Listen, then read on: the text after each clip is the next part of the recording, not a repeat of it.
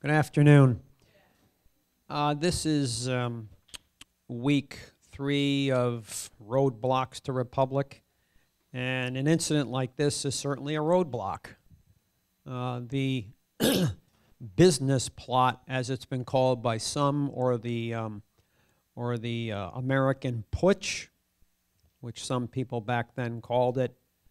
Um, there isn't, there hasn't been much uh, material written on this, uh, especially since the investigation was literally suppressed after a while here. Now, the New York Times began going great guns on this and then backed off. Time magazine began going great guns on this and then backed off. And even the investigation slacked off into 1935, late 34 into 35. There have been a couple of, there have been a number of books written on it though, uh, and one here is a book written in 1973 by a Jules Archer. It's called The Plot to Seize the White House. She says it's been seized. well, left you an opening there, you took it. Very good. We don't like people who are not ambitious. Uh, another one written in 1962 was by a man by the name of George Wolfskill, and it's called The Revolt of the Conservatives.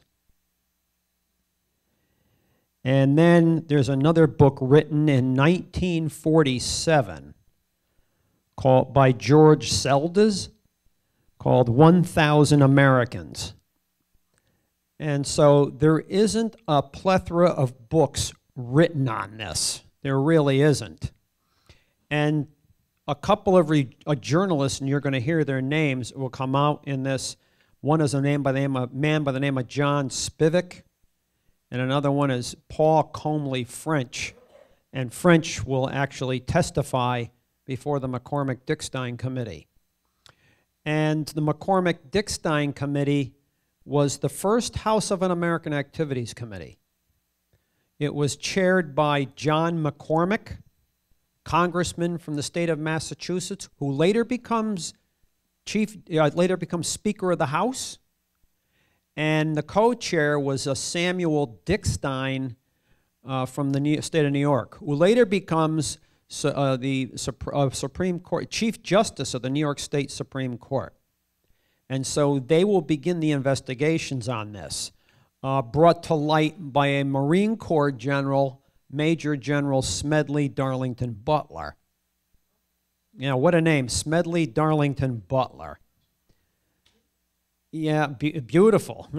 And uh, he, he's an interesting character from the perspective. He was from Pennsylvania, and he went into the Marine Corps as a private and after a 33 year, four month career, came out as a major general. That's quite a, that's quite a run. Uh, that's not the only thing about Butler. Butler is one of 19 Americans or only seven Marines to be accorded the Medal of Honor twice.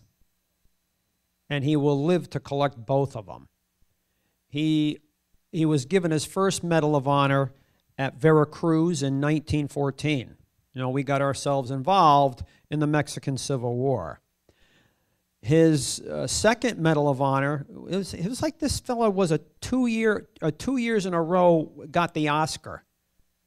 Uh, his second Medal of Honor came as a result of, as being a major in the Marine Corps, leading a section of sailors and Marines against the Caco resistance on Haiti in 1915.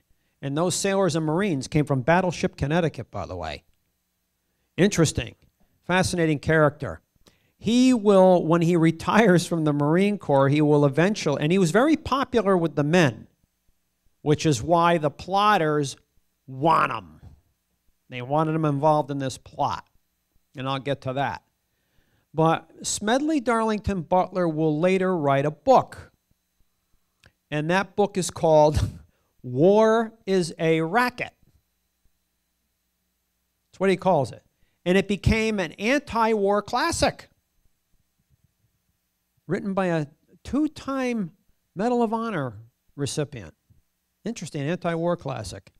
And in this book called War is a Racket, he will say, I made it easier for Brown Brothers Banking to operate in Central and South America.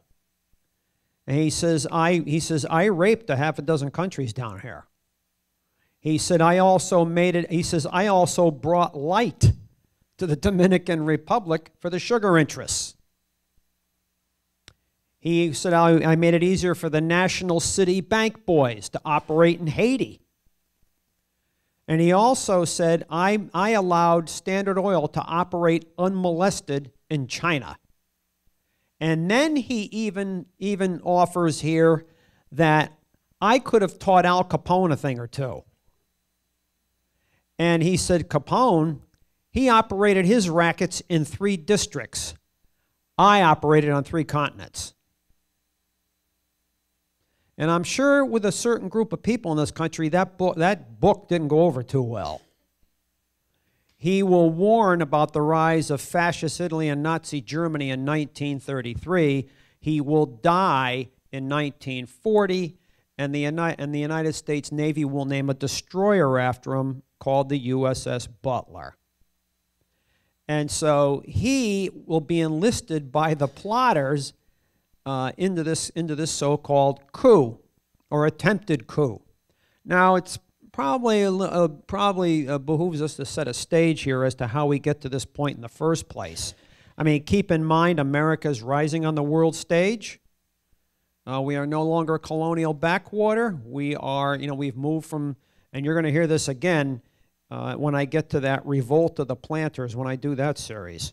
You know, the, the Jeffersonian idea of America as agrarian country lost out to the Hamiltonian idea. And now we are well on our way to that agenda. You know, we are a developed economy, factories, finance, so on and so forth. We're the world's leading economy at this point. And you know, you've seen various machinations here in the in the like in the mid 1890s when uh, the, when Rockefeller thought that he, he, people like he, Carnegie, and, uh, and uh, the Morgans would never be able to make the money they would like to make in a free market economy. That it would behoove them, keep in mind, you couldn't vote for your senators then, going back to the mid 1890s. You know, senators were appointed by state legislators per your Constitution. That'll be changed in 1913 when you can vote for your senators, but not yet. So it, so it would behoove them to pressure the state legislators to appoint the senators they want in Congress to pass those rules, laws, regulations that will enable them to arrange the economy for their benefit. He's already talking about a corporate state. We haven't even gotten into the Spanish Civil War yet. Well, that's not going to fly. Uh, you know, you're going to see the, of course, you will see, you will see uh, people in 1913, Congress is going to pass that amendment to the Constitution to allow you to vote for your senators. But then again in 1913, what's passed by Congress? The Federal Reserve Act. Now you have the Fed. And so in World War I, uh, we get into this industrialized, corporatized, commercialized war. And the idea of organizing the American economy for war is required here because now you're in an industrialized war. And so the War Industries Board, Bernard Baruch, together, well, one of his assistants was General Hugh Johnson. And so we're going to organize the economy. And so, you know, if you have a company that makes widgets, you make so many widgets per your orders, per your customers, well, now everything's arranged. We need so many widgets from you. You got to have them such and such a date. They're going to be picked up by the transportation system, which is now overseen by Washington. That will be taken to the docks. The shipping companies will send it to Europe for the war, again overseen by Washington. What happened to free market? You can't have that in a war like this. Everything has to be organized. Kind of runs counter to how the, the founding of America, you know, something George Washington warned about. A large standing army. And so in 1929, though, uh, Gerard Swope, now we're in a depression. We are in a depression. Well, maybe what worked to organize the economy in World War I can now be used in peacetime to get us out of the Depression. Only here, Gerard Swope of GE, you know, the large corporations, large banks run their industries. And they will run these industries setting, you know, how many hours white collar workers will work, how many hours blue collar workers will work. And we'll have a social safety net for them. Get a load of that one. 1929, 1930. And Herbert Hoover doesn't want this. He says it smells like warmed over fascism. Many doesn't want to do this. And, you know, he's going to be virtually told here, well, guess where the money's going for the next election? You're not getting it. Of course, the Depression doesn't help Hoover anyway. Know, it's kind of hard being reelected in a Depression. And so by 1933, who wins the election? Mr. Roosevelt. Right. And he's saddled with a 25% unemployment rate. You know, this, this is one of the worst years of the Depression. A 25% unemployment rate, no social safety net, and many women really aren't working. You know, you don't have that two, that two wage earner economy you're later going to have. And so when the husband or the father is out of work, what happens to that family? That's a problem. And so there are some in this country who feel that perhaps we need a more direct approach to get us out of the depression. And some of those people are going to be on Wall Street. And so it's interesting what arises here. One, and it's interesting the, the Morgan interest, the DuPonts, the Pitcairns, Remington Arms, Guaranty Trust, from Wall Street. Grayson MP Murphy oversees this bank, which is, which is a Morgan affiliate. Remington Arms, heavily represents, re represented by the DuPonts. And so it's interesting where this develops. And there's a man that comes out of this named Gerald McGuire, who at one point lived here in Darien. And Gerald McGuire uh, is, is, was, a, was a representative of, at one point, the Connecticut American Legion. And this isn't the last you're going to hear of the American Legion here either. Another one that comes out of this, William Doyle. From Massachusetts, again, the American Legion. And they want, they would like Smedley Darlington Butler to be allowed in this plot. They want him to be, they want him to take part in this plot. Number one, they know he's very popular with the troops. And as McGuire said, this guy could get a million men together overnight. Well, he's a two time Medal of Honor earner, he's dashing character. And, and so, why don't, why don't we enlist him? And in July 1933, uh, Butler gets a, a, phone call. And to be enlisted, the, well, they don't tell him he's going to be involved in a plot. What they want him to do is, the first thing they want him to do is run as the chairman for the American Legion and be a, rep a representative from Honolulu. The next thing they want is him to speak at the convention in Chicago, American Legion Convention, in support of a sound dollar. Let's keep the dollar on the gold standard. And Butler says, What the hell do I know about gold? the heck do I know about gold? They will have a meeting in a hotel room in New Jersey. And Butler tries to enlist, uh, uh, uh, McGuire tries to enlist Butler's support. And even to the point where he has a wallet with 18 $1,000 bills. Here we go. And in the course of these discussions, first, you know, Butler's under the impression uh, as this comes out here. You know, going to the going to the American Legion convention, and also at this point uh, speaking up on a sound dollar principle. It comes out where there, you know, uh, that Roosevelt, uh, McGuire gives it gives away that he's not a fan of Roosevelt, and maybe we need new government, and that opinion will change, and you'll see this change come. But at the same time, he wants Butler in on this so called plot. and he puts 18 $1,000 bills on the bed. And Butler says, tells him, you know, uh, you forget, he was a cop once. He was a chief, he was a chief of police in Pennsylvania after the Marine Corps. You know, and Butler tells him, what are you kidding me here? The, the, those serial numbers, I picked those up, I'm done. Oh, he's not stupid. And McGuire says, Look, I'm going to Europe. And he says, When I come back, we'll talk again. So McGuire goes to Europe.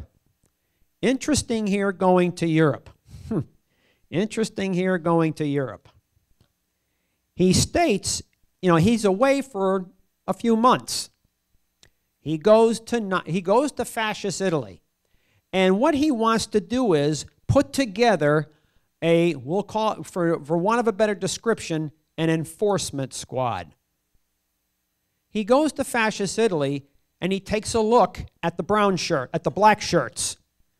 And he comes to the conclusion it's the black shirts that help keep Mussolini in power. We don't want that. He goes to Nazi Germany and he takes a look at the brown shirts, you know, the stormtroopers. These are the guys that back up Adolf Hitler, you know, the beer hall brawlers. We don't want that. He finally winds up in France and he sees a group here of ex, ex veterans, well, veterans, World War I veterans, guys who are highly nationalistic, who can be virtually on call if they need to so called protect the government or in case there's an attempt to take control of the government. They are decidedly to the right. They are called the Croix de Feu. And that's what McGuire says we need here. And so he comes home. He will have another meeting with Butler. Interesting here, on November 21, 1934, the New York Times prints you know, this, this comes out later on to the public. And the New York Times is one of the leading newspapers that really puts, really be, begins to cover this. November 21, 1934, the New York Times printed the first portion of the Butler story as told to the House of Un-American Activities Committee, giving it front page treatment with an intriguing lead paragraph. A plot of Wall Street interest to overthrow President Roosevelt and establish a fascist dictatorship backed by a private army of 500,000 ex soldiers and others was charged by Major General Smedley Darlington Butler, retired Marine Corps officer. The New York Times report added that Butler had told friends that General Hugh S. Johnson, former NRA administrator, was scheduled for the role of dictator J.P. Morgan and Company, as well as Murphy and Company, were behind the plot. Wow, that's big news on November in November 1934. That's fascinating stuff. But there's another man involved here, Robert S. Clark, again affiliated with the Morgan interest, who Butler had known when he was in service in China. Only Clark has done reasonably well for himself. He says he's worth $30 million here, willing to pour half of that into this effort. Interesting where this money's coming from here. Absolutely fascinating. But when McGuire meets with Butler again, he now tells Butler, uh, We're not interested in getting rid of Roosevelt. And Butler says, Well, you were when you, last time we talked. No, we don't want to get rid of Roosevelt but we think he's being overworked. That's a nice excuse. So the idea, get this, the idea is to kick Mr. You know, going back to fascist Italy, and this is where McGuire and some of these guys get this idea from. We'll kick Mr. Roosevelt upstairs, and we will have a secretary of affair, a secretary of affairs to actually run the day-to-day, uh, you know, um, uh, day-to-day happenings in the country. Well, what happened to the vice president? What happened to that? And McGuire says the president can appoint this. He doesn't need to go through Congress. As an advisor, advisor, the guy's going to be a dictator. And originally, this is what they thought Butler could do. Butler turned around and turned them all into Congress, you know. He turned them all into Congress. And according to his testimony, interesting here is according to this testimony, Butler, you know, Butler is Butler is told by McGuire, we can get 500,000 veterans to press our claims. And Butler says, in other words, you're going to bully the president. No, no, no, the president is with us. And Butler's reply is, if the president is with you, why would he need 500? He says, most of the voters put Roosevelt in. Why would he need 500,000 men for an enforcement squad for? You know, McGuire's really not doing a good job selling this. He really isn't. And he and virtually tells Butler, and this is the transcripts, that we can use these 500,000 men to impress our claims. For, in other words, a Wall Street fascist dictatorship. And Butler tells him, you can get your 500. He says he was interested he says he was interested. He says, but if anything here smells like fascism, I'll get 500,000 more vets and we'll lick the hell out of you. And we will have a real war right here at home. And McGuire doesn't like the tone of that. And so this is what Butler tells the McCormack Dickstein Committee. I mean, this is riveting testimony here going on here in these hearings into 1934. Makes the Kavanaugh story here small potatoes by comparison. By comparison. I mean, this, this is absolutely fascinating here. Paul Comly French is one who Butler talks to. Paul Comly French was a journalist with the Philadelphia Record and also with the New York, New York, uh, New York Saturday Post, I believe it was called. And French is called before. French is called before the McCormack-Dickstein Committee.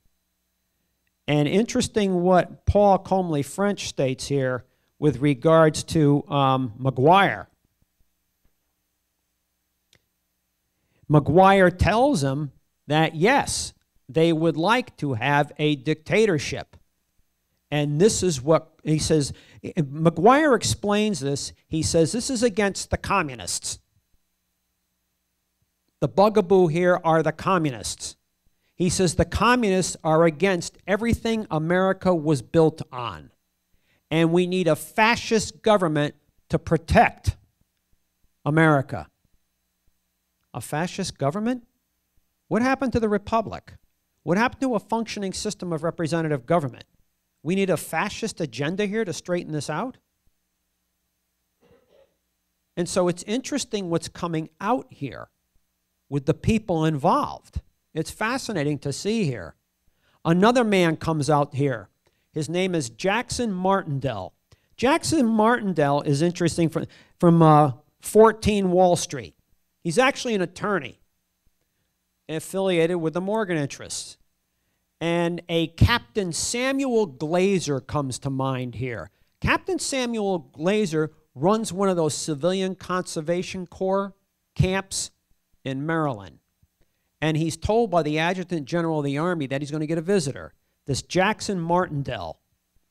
And Martindale takes a look at how, you know, guys out of work are organized to build like the parks and so on and so forth. I mean, some of the parks, these beautiful parks you go to, were actually rebuilt or built by the CCC during the Great Depression.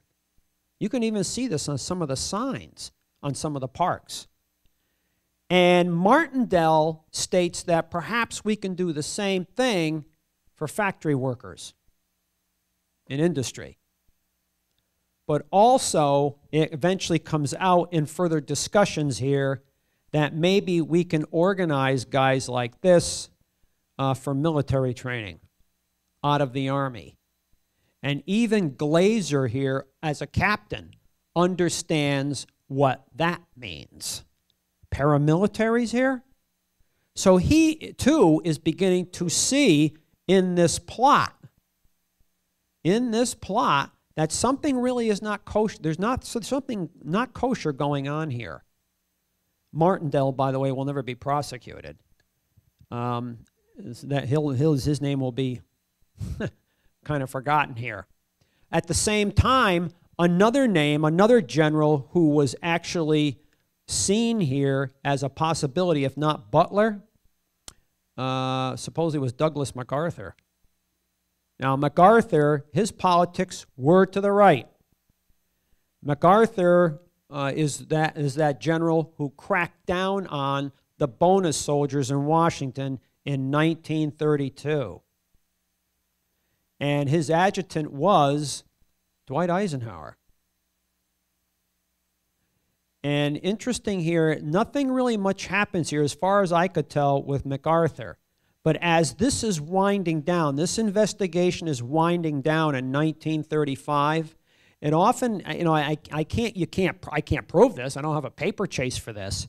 But I'm wondering if that's why MacArthur was assigned to the Philippines as the commander of American forces.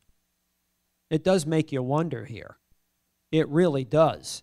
And if you recall, MacArthur uh, was one of those names thrown up for the Republican nomination against Truman. But then again, who wins that nomination? Eisenhower. Now, just remember in 1953, uh, you know, Ike, Ike, Ike gets that nomination, and he's and MacArthur is sitting at home, I guess, reading the newspaper in the living room or something, and it's MacArthur's wife who tells him, "Oh, uh, Douglas, guess who got the nomination for the Republicans? Ike got the nomination." And MacArthur's reply supposedly was, "Well, that's good. He was one of the best clerks I ever had." And so as this as this as these investigations proceed, all of a sudden the New York Times is not devoting as much attention to the proceedings.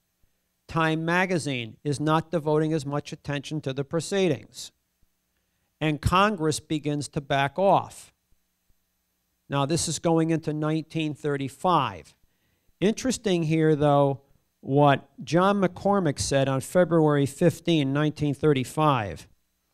In the last few weeks of the committee's official life, it received evidence showing that certain, even though nobody's going to be prosecuted here in the end, no bigwigs are going to be prosecuted, showing that certain persons had made an attempt to establish a fascist organization in this country.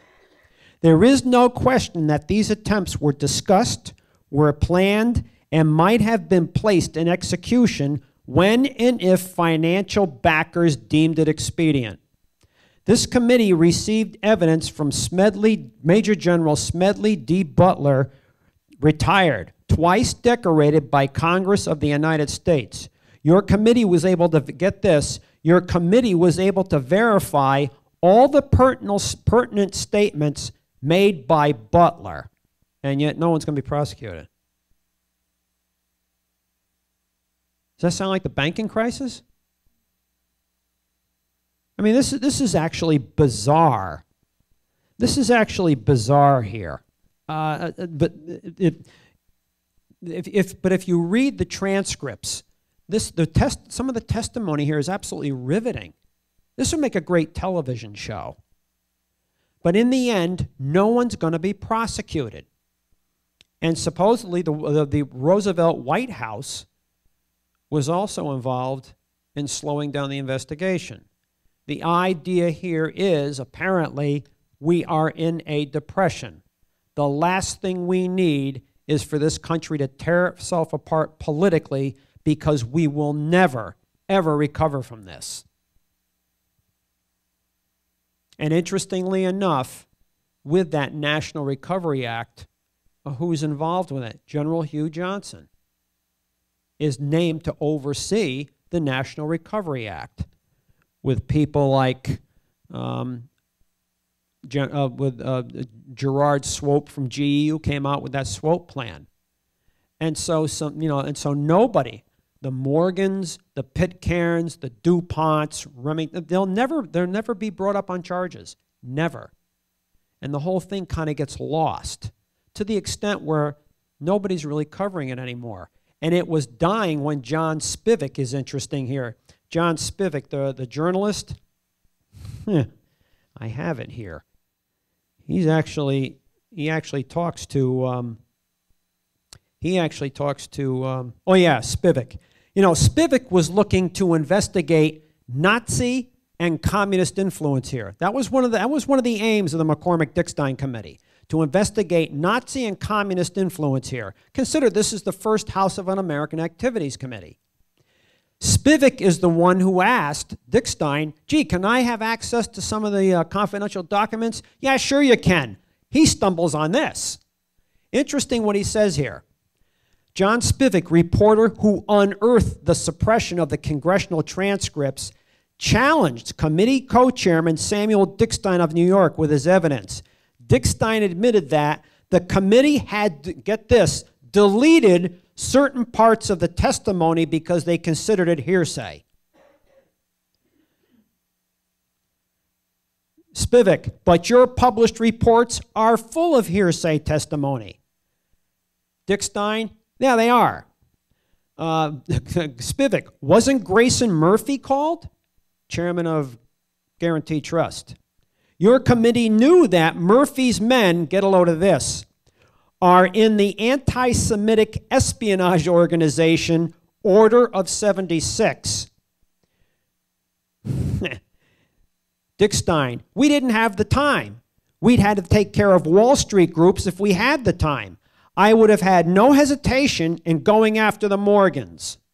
And then Spivak's reply is You had Belgrano, commander of the American Legion, listed to testify. Why wasn't he examined? And then uh, um, Dickstein's reply is, I don't know. Maybe you can get Mr. McCormack to explain that. I had nothing to do with it. And so you see this pattern, this progression coming where they're laying off from the investigation. And then the whole thing's going to be for, virtually forgotten. It's a pretty sordid episode in American history, which really, for the most part, gets no airing here. Interesting if you ask Ken Burns to do this. I can bet you what the answer is going to be. Yes. It was formed in 1919. Yeah, it was formed in 1919 as a veterans organization. And, um, you know, you're going to have the VFW as well. But the American Legion was formed as a veterans organization because now we had been involved in this, in this global war. And I mean, note the name, American Legion, Legion of Soldiers. And it's been around for over, well, over, this is the 100th anniversary this year. Or next year will be the 100th anniversary of this organization. Um, I mean, I know I go to the Post 12 over here in Norwalk first of every month because they have a, a ceremony for a departed veteran. And I go there, it's the first Sunday of every month. I go there every month. And you don't have to, if you wanted to have your a loved one remembered, they'll do it. They, they, uh, they pull out all the stops here. There's a firing squad, there's taps. Uh, they'll fly your family flag for the month until the following month when your flag comes down and the next family, it's the next family's turn. It's, very, it's done very tastefully and it's done very well. Uh, but then again, you know, there were elements out of the American Legion that got involved with this. Um, so, but that organization's been around for quite a few years. Anybody else? Uh, yeah, patriotism. the, the, the, the, the run-of-the-mill soldier's not going to know what's going on here. You know, the, the, the country's under threat, and, they'll, and they'll use, and the plotters will use the shtick of patriotism. I mean, that's, that's, and so the regular run-of-the-mill soldier or Marine, how are they going to know? They don't know. However, keep in mind at this point, many of these run-of-the-mill soldiers and Marines, or even sailors for that matter, uh, they're, some of these guys are out of work. And so when you look at what happened in, in, the, in Weimar Germany with the Freikorps, uh, you know, the German army is crumbling, but these guys, you trained them to be soldiers. You, somebody better give them a job, or that's a problem. And so you see these right wing groups springing up through Germany. There was over 70 of these groups, 70 of these Freikorps uh, groups in Germany. Freikorps is actually the translation of it. And they were practically, for the most part, all all to the left, all to the right.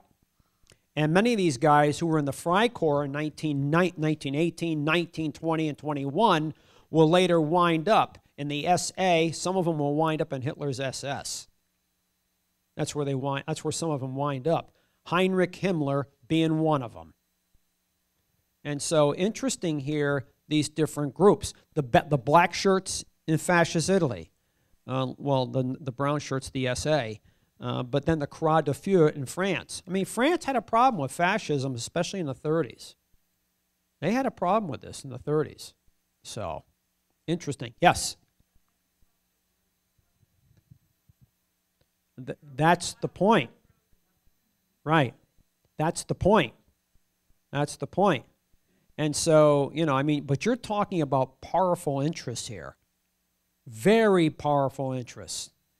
And if you remember, there were some who called out Roosevelt. You know, Roosevelt had to live with that stigma for a while. He was a traitor to his class. Remember that one? And so, but what is Mr. Roosevelt going to say later on? He's not going to say, I saved the worker. I saved capitalism.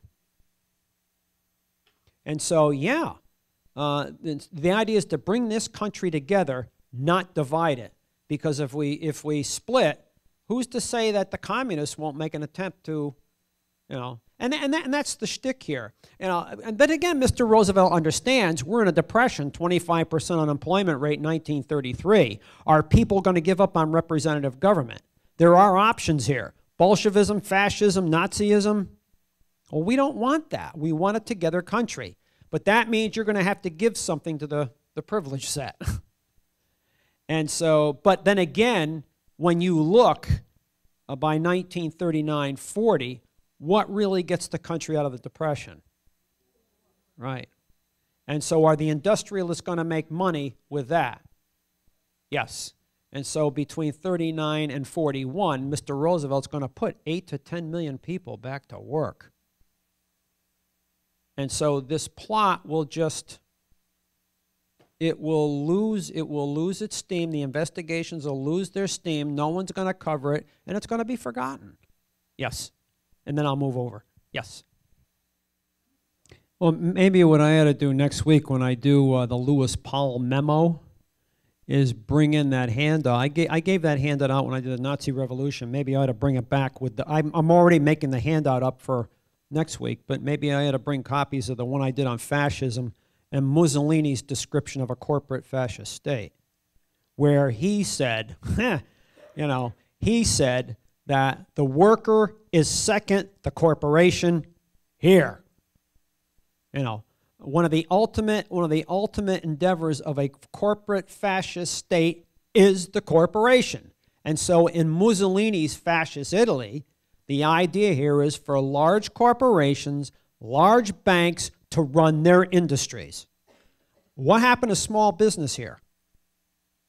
And so the worker exists for the state. Know, and Mussolini's idea here is these ideas unleashed by the American and French revolutions. Again, these ideas of liberalism, democracy, republicanism, secularism, socialism, nationalism, parliamentarianism uh, helped lead to 1914. And so we don't want that happening again here. And so instead of leaving it up to the people to decide their issues, guess who's going to do that? This corporate fascist state. And so the, the uh, rights of the individual exist only because of the state. Yeah, that's scary. Yeah, it is. You're right. And interestingly enough, when you look at ideas like this, and don't think there aren't some in this country who favored that or favor that. And so when you look at the Baath Party, remember them? The Baath Party. Uh, Michael Aflaq is one of these Syrian theorists in the 1920s who's putting together this thing known as what's going to be known as Baathism, a secular agenda. And so he said he's him him and his him and his fellow theorists are going to consult fascism, uh, later Nazism, and socialism, and even Marxism to put together this thing known as uh, Baathism. And it will and it will be based on liberty, unity, and socialism. Interesting how they come up with this. Socialism, but just for us Arabs. No one else need apply.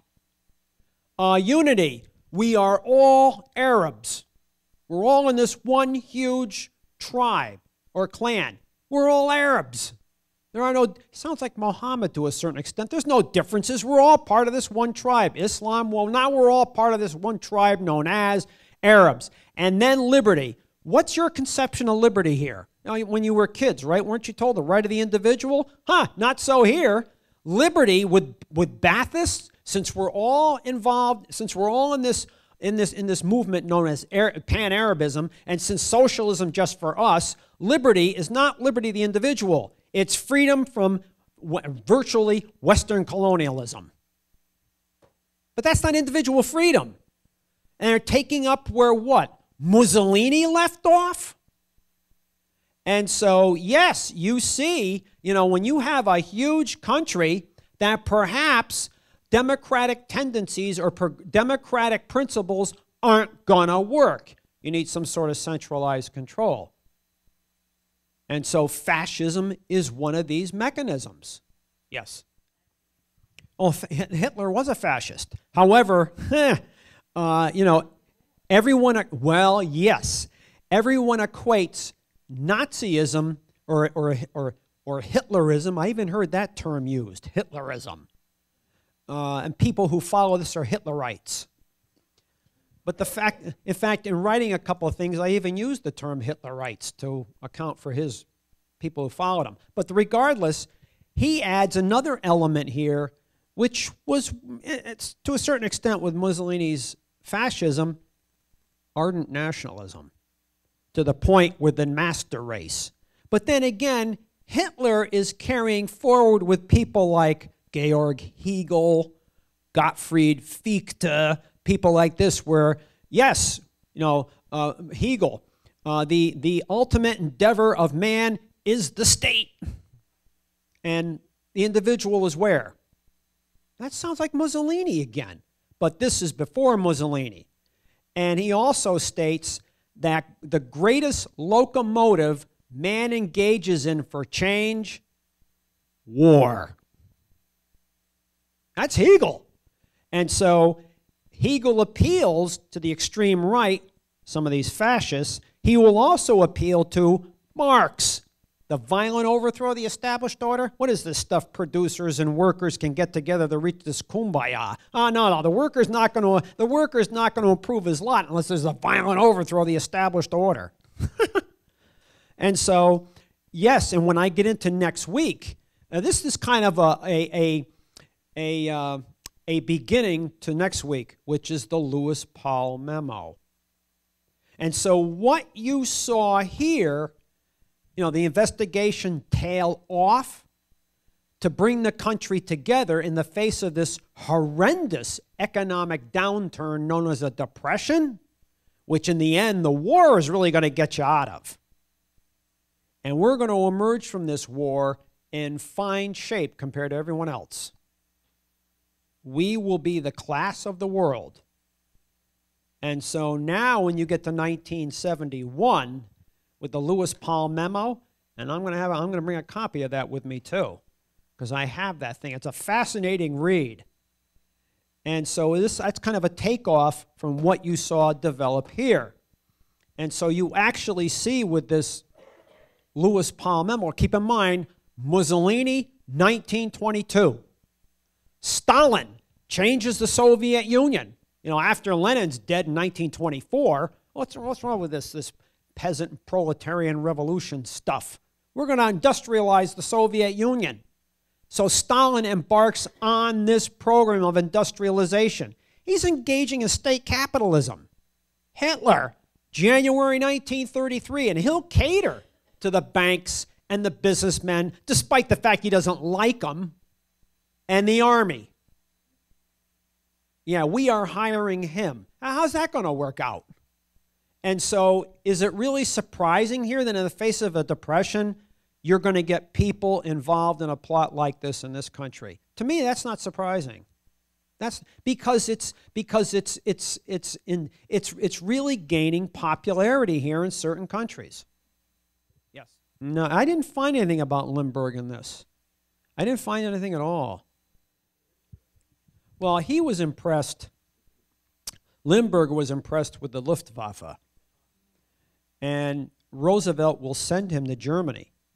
He was actually going to send um, General Gene Vidal supposedly he was going to send General Gene Vidal, who was his uh, who, who was his Air Commerce Commissioner at one Air Commerce uh, Secretary of Air Commerce at one point, and he changed his mind, didn't want to send him because that would make it look like we're talking like 1935, 36, 37, I can't remember exact year.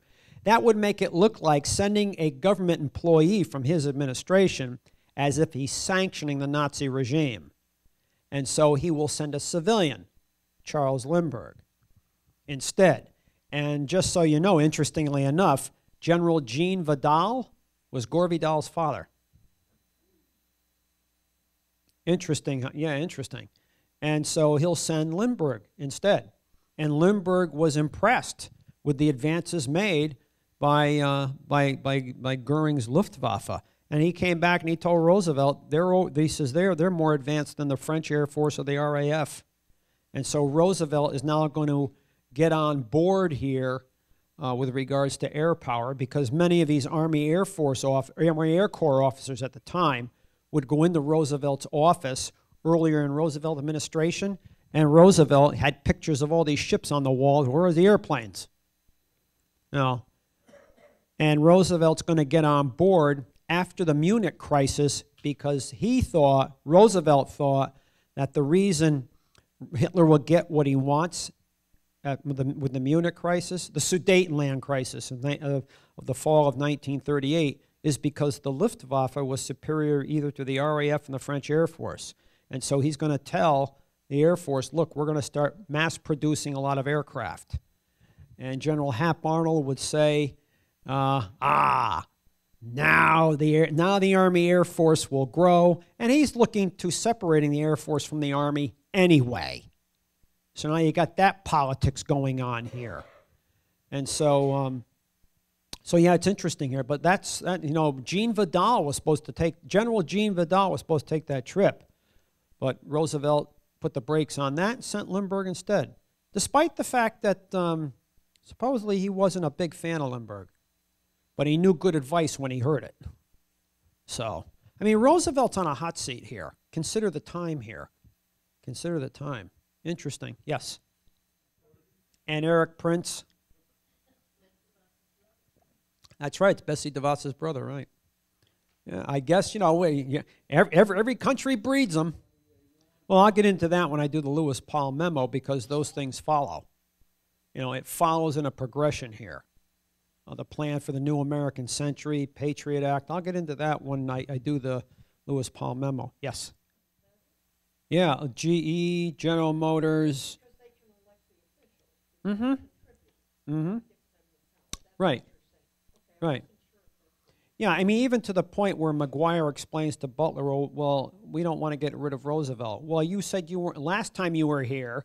Well, no, no, we don't want to get rid of Roosevelt we, you know, virtually want to kick him upstairs and appoint a, pardon me, a secretary of, of affairs that will run the day-to-day, run America on a day-to-day. He says it's almost like in Italy, King Victor Emmanuel still sits on the throne, but who really runs Italy? Mussolini and the Fascist Council.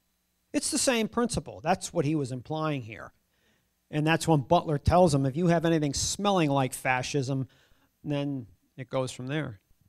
So Butler, I guess you could say, was somewhat of an ardent patriot. Um, but the, all this gets lost in the shuffle here, and it won't be covered, and the, and the investigation will tail off, and then it's going to be forgotten, and the country will come together for the war. Interesting, interesting time here. Well, this isn't really discussed. You know, again, try getting Ken Burns to do this. That's if he's going to do it. What would the backlash be? Yes.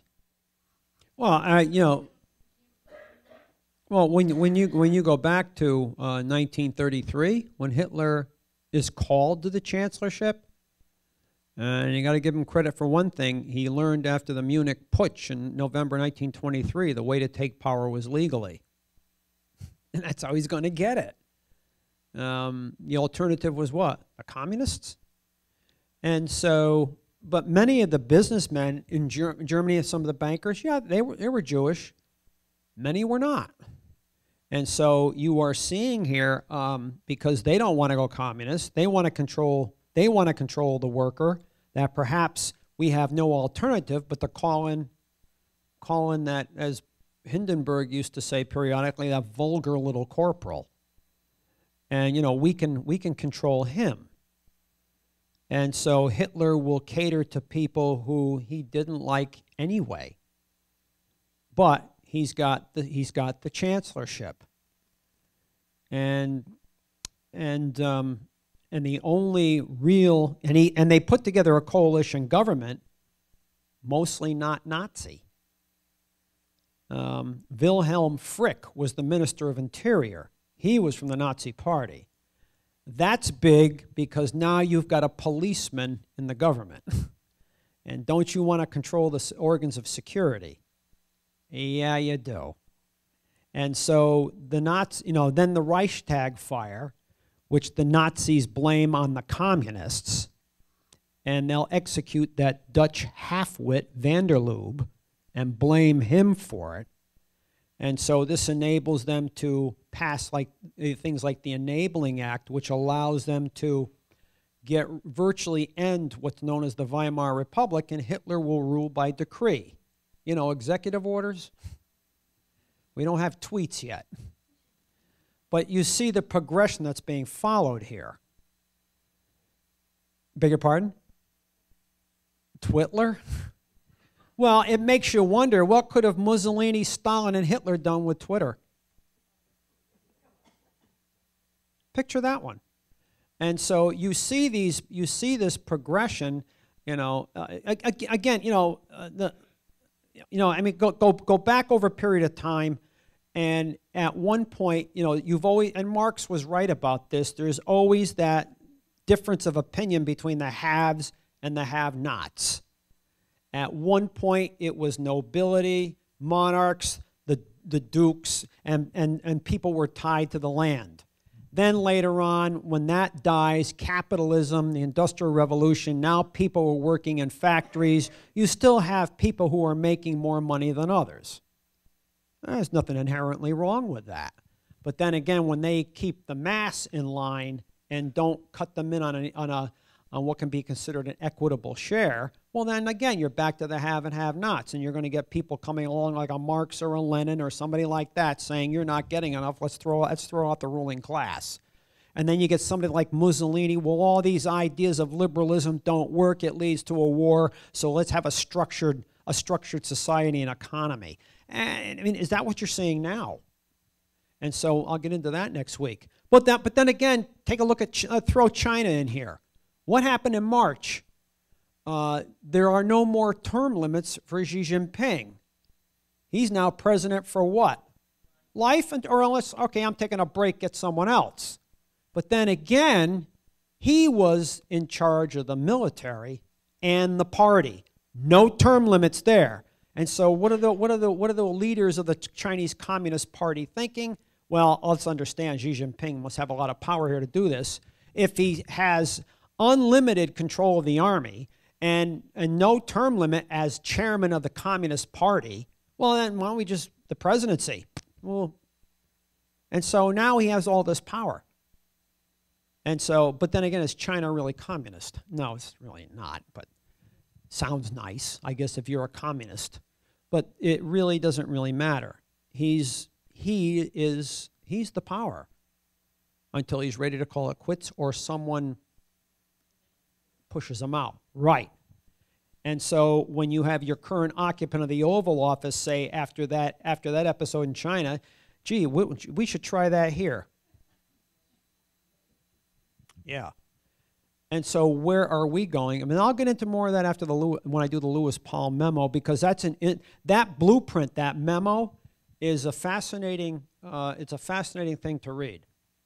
It really is. It truly is.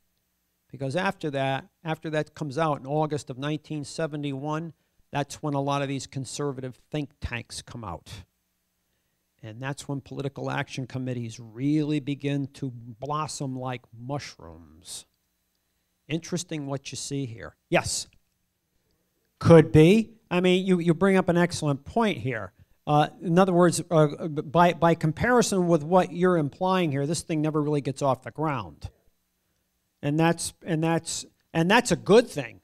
But you're right, it really wasn't a popular movement from the perspective of organizing workers, whatever the case may be. No, we're going to get a half a million soldiers. And then Butler says, well, I can get a half a million soldiers and we'll lick the hell out of you. And so it's like, it's like checkmate here. It's checked. And, but as,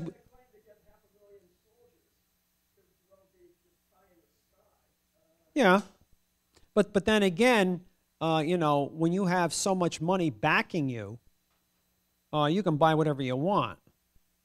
You can buy whatever you want. But it doesn't go that far. And part of this is because the part of this is the press backed off. Even the White House will call an end to this. And so they will come together and try to structure the economy to get us out of this depression. And so there will be, and, and Roosevelt's going to play the game too. I mean, let's understand this. Uh, he got money from uh, from people like, uh, you know, Bernard Baruch, uh, the, the Rockefeller interests, uh, to be elected president. And so is he going to cater to their agenda to a certain extent here? Yeah, he is. He is. Because in the end, again, uh, and even though, even though he was getting pressure from the unions, some of who were influenced by socialists and communists, and so it's, you know, America is, is, is an interesting jumble here in the 1930s politically. And so it's almost like Roosevelt is trying to accommodate all of them here. That's hard to do. And, you know, what is it that, uh, what did Abraham Lincoln say? You can, you can fool all the people some of the time and some of the people all the time, but you can't fool all the people all the time. And so Roosevelt, Roosevelt, yes, it's going to be the war that gets us out and even unifies us here. But we don't have, interestingly enough, we don't have a full-fledged revolution. And that probably goes back to the case that, again, this was not a mass movement. It was a restricted movement. You didn't have a broad base here. Of course, keep in mind, you know, again, since it wasn't broad based, maybe it's easier to put a stop to this. You know, unlike what happens in Russia in 1917. Fortunately for us, we had not lost a war then, and so that added disgruntlement of nationalism was lacking, like in Russia or Germany in 1918, 1919. You don't have that here. Thank God. You don't have that here. And so America will come out of this by 1939, 1940, and by 1945, since we don't have a revolution here, we're the top power in the world. That's an interesting progression. We're the top power in the world. Of course, maybe we're under competition now, but not in 1945. Somebody else had a hand up.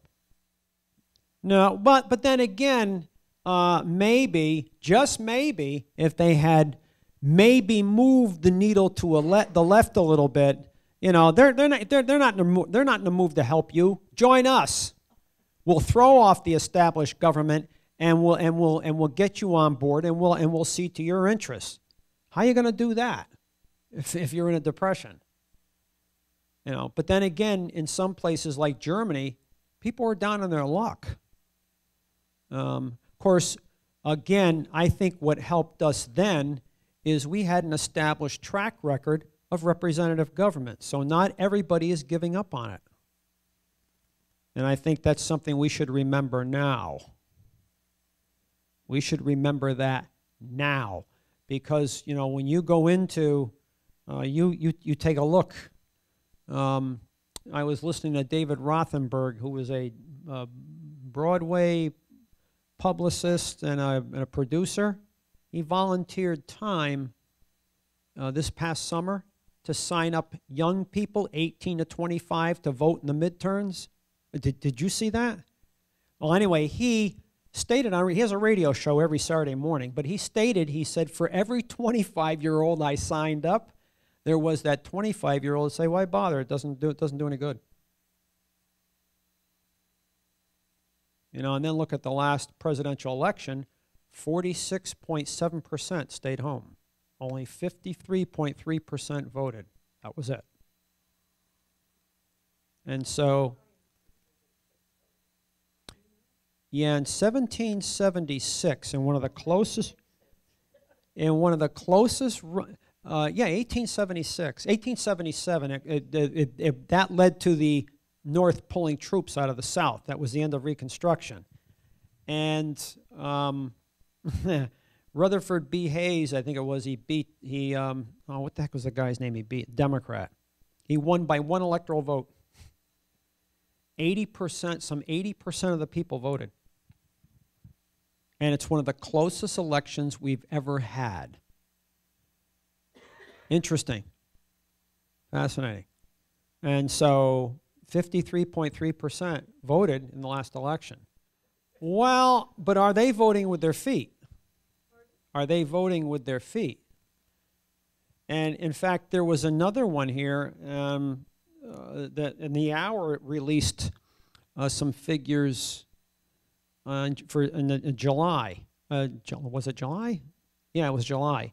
Uh, of people signing up in this state, and some 12,000 and change between November 9, 1960, uh, 2016 till July 9, 2018, some 12,444 people, young people, voted, registered as Democrats and in that same time frame, 5,274 registered in this state as Republicans, over 24,000 registered as unaffiliated.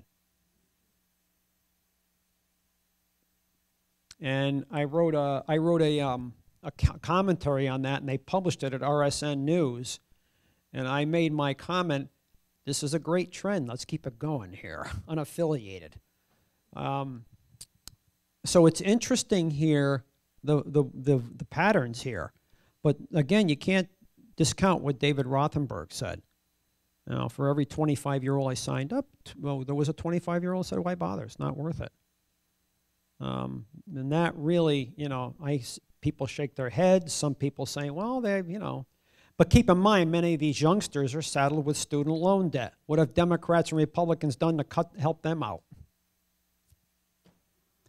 That's how they're going to see this. Again, the pocketbook.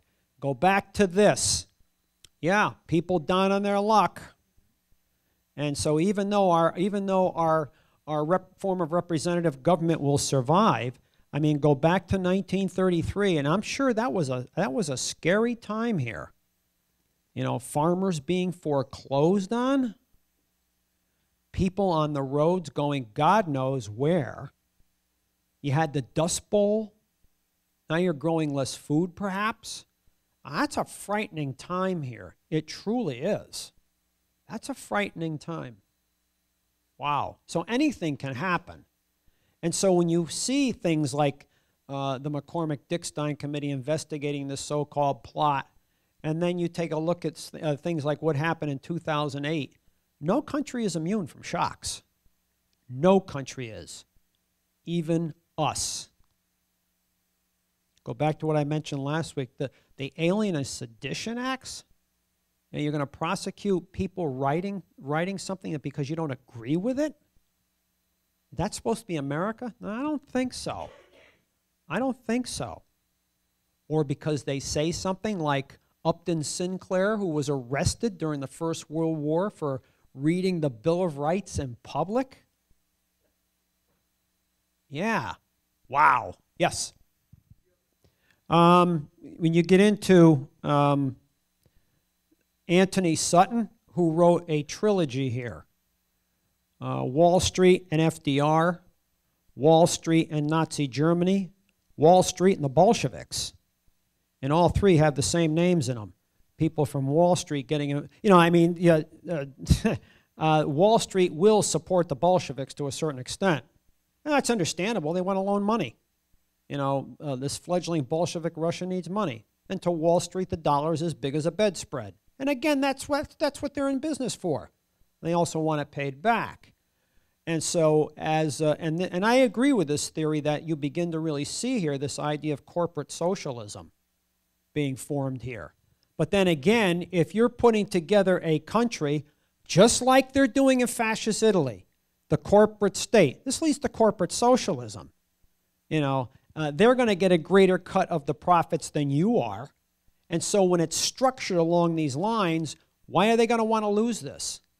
And so they'll reach an accommodation here. Uh, you know, you can't tear the country apart because Roosevelt will later say, you know, in trying to get some of the rich on board with him to throw to the economy and let's have a social security. Let's, let's build some sort of social safety net. Let's pay the worker more. What do you guys want? Do you want half a loaf or no loaf? And some will, some will come around. And so, why would we want to keep investigating this plot uh, if, if, if, if we can reach some understanding here? Um, which makes you wonder uh, today are there any, is there anybody good at negotiating like that? James Baker would be, people like this. And so America will survive, even to the extent that, interestingly enough, in 1940, the Roosevelt administration will come up with the DPC. Again, carrying forth corporations and big government. I mean, you can't have monopolies here without collusion of government uh, in, a, modern economy. And, and, and Roosevelt's going to come up with the, the, the, his administration, the Defense Plant Corporation. Get a load of that name, Defense Plant Corporation. We're not even in the war yet. The DPC. What do they? What does this? What does this government company do? It takes, well, taxpayer money and builds factory space and will lease it to, the, to, private, uh, to private companies to build weapons. It's, it's, a great, it's a great example of government and business coming together to increase um, producing war goods. Or as, or as I like to call it to a certain extent, war socialism. Nice term. Nice term. Well, that's kind of a, a bounce off war communism. When Lenin, uh, fighting the Civil War, okay, we have to take some of the grain, we have to take some of the livestock, and what little industry the, so uh, the Russia had, we need to produce weapons and produce those goods for this civil war to beat the whites. Well, here we're not in that situation. But we are in a, we're going to be involved in a world war. Plus, before we get into that war, we're producing weapons for what? Export. Until the British gold runs out. and then they can't pay for it. Well, we'll, we'll you know, lend lease, right? Remember that one? You know, you're going to lend these weapons to the British and then they're going to give them back. How many are they going to give back? But what happens here? Some of these big companies will make what? a lot of money. As Smedley Darlington Butler says, war is a racket. Although with World War II, I will agree, there was that element of patriotism with the common everyday Joe after Pearl Harbor. You know, you do understand here that if you lose, what's the alternative? Nazism, virulent uh, militarism, so you got to fight it. So. So it's interesting here. I mean, it's a tight, you know, modern war get, gets to be a tightrope here. Uh, you know, uh, the, the, the Industrial Revolution, capitalism, technology, and it encompasses now an entire country. Well, now you've got the technology revolution, you don't need as many bodies anymore. But up to World War II, yeah, you needed a lot of bodies. Why? Because now there's more factories. You can build more weapons. And with technology, that weaponry is improving and killing more people. So now you need more bodies. It it's, this, it's just this process, one feeds on the other. And again, you can see this with the Great French War of 23 and a half years, where six and a half million dead uh, you, you, in Europe. You, you go to the 1914 18 conflict, 15 million dead, and then 39 to 45, upwards of 60 million dead. I mean, this is what man does with his technology and, and, and, his, and his ability to make weapons. You know, I remember one guy saying, you know, defining war, and you know, the guy the guy was a GI in World War II. He says war is simple. It's trading it's trading uh, it's trading bodies for men. I mean, it's training it's trading it's getting land for men. That's what it is. Interesting here. Yes. Yeah. But I mean, if but but then again, talking about encompassing an entire economy or an entire society for war, the more men you put in a uniform, who has to make up for the manpower? Right. And so I'm a big proponent of what you call World War I, but more so World War II helped advance the cause of the women. Now they're in the economy, more so than ever before. And what's, and what's, and what's fascinating about that, these women are making the weapons for their loved ones who are at the front. Talk about a united effort here. That's fascinating. It really is. Is it going to change your society? Yeah, it will. And so, will this thing like the, the business plot be forgotten? Keep in mind, there is, no, there is no plot here in 1945. What do you need a plot for? Everyone's together. And we're not going to go into a depression after in 45 because there's no one else in town, no one else in the globe who can make those make those goods that are necessary to get us out of get us out of the, get us into the post-war world. There's nobody else that can do that except us. So interesting here. Fascinating. Anyway, anybody else have any questions or, or comments? Yeah, the, the business plot, you really got to look to find information on this stuff. You really do. You can find some, but it's not going to be as prevalent as something like the Russian Revolution, the American Revolution, or something like this. So you really got to look. I happen to I happen to find the the um, the transcript for the McCormack Dickstein Committee. That's where I got a lot of this from. I got 113 pages of it. But even here, even here, uh, my version has some of what was deleted most of what was deleted I don't have. I mean, I would love to have uh, what was, you know, asked by some by some of the people like the Duponts and the Morgans. I don't have that. And so it's so you know that's to me missing. So fascinating, fascinating. You're welcome. Have yourselves a good evening. Are we supposed to get rain tonight or tomorrow? Tonight? Yeah, it looks like it. Have a good evening.